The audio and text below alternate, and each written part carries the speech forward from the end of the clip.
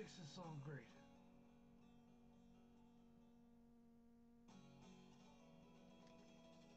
If you ask me what makes Tea Party's Temptation so great, the opening little, little guitar riff of Jeff Murray is just, you know, it sounds so